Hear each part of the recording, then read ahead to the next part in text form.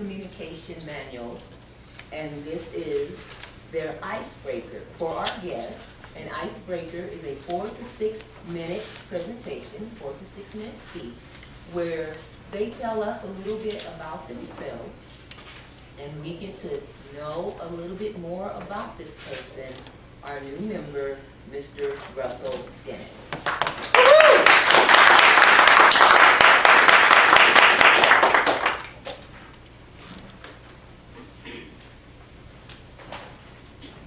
Good morning, everyone. Good morning.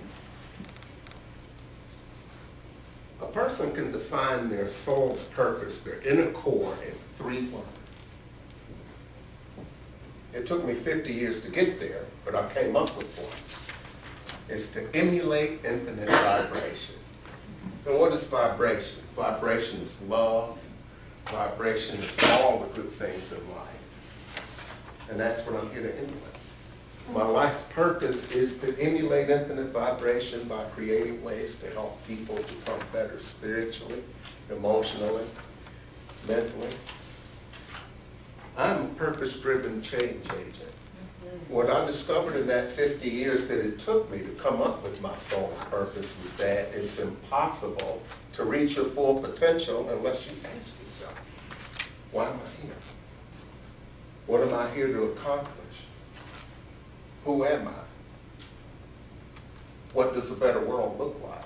And these are the types of deep questions that a lot of us don't spend time to ponder.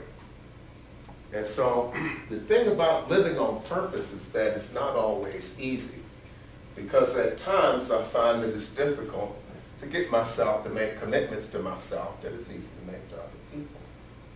I grew up in Cleveland, Ohio as an orphan and I spent time in foster homes and group homes and I had a really skewed sense of what my value was. I learned to, to measure my value by what other people thought. In other words, judging my insides by other people's outsides. It's a practice that I got into and carried on for quite a long time. Now, I've had a lot of challenges in my life. And those challenges, while at the time were, were difficult, have actually made me a better person. I didn't ask myself that question, why am I here, until I hit 49 years of age, when my doctor told me I had Hodgkin's lymphoma cancer, stage three. And I looked over my life and I said, what, what, have, I got to show for 49 years? What does it all mean? What was I here? Is this it? Well, I sat with a friend who helped me determine what my soul's purpose is. And that was a very good thing for me.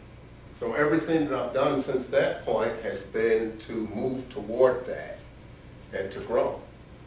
And it's not always easy because sometimes that requires me to do things that are a little bit difficult. If living on purpose was easy, everybody would be doing it. So it's the key to, to a successful life is to understand what that purpose is, is to live on purpose. That's the key to a successful life. There are three things. Firstly, I'm connected to everybody. I always felt like I was alone, like I was a space alien, like something was wrong with me, and that I didn't connect with anybody. And that's just not true. Everybody on this planet is connected. We are all connected through a creative source, whatever you want to call it. Everybody has different names. I call mine God because it's short and I'm a little lazy. short, quick, easy. I never have any problems with the spelling. so I like that. So that's my creative intelligence. I call it God. But we're all connected at the source. So being in touch with who I am has helped me to catapult my career look at things that are important where family is concerned. So the second thing is that I have to live from the middle. I have to base everything I do on that purpose. Because if I try to start acting based on other things, it just it won't work. I'm not authentic. So I have to live from that core. And, uh, and uh, the real path to success is through authenticity. I have to be authentic. I have to be real. Third thing I have to do is be the change that I want to see. You know, I was always a victim of circumstances in my head in my youth. I used substances and did all sorts of other things. And I would sit and look at my life and I could find all sorts of things that happened to me that caused me to be where I'm at. But I have to take responsibility. When you're on purpose, I take responsibility for my life. I have to be the change that I want to see. When I want things in my life to be different, I do things different. And that's what living on purpose is about. So, the success key to living is to understand what that purpose is. It's to live on purpose. It's to live with who you are. And fear will try to beat you back because it's like, what if nobody likes that? The only person you have to live with 24-7 for your whole journey is the one you face in the mirror.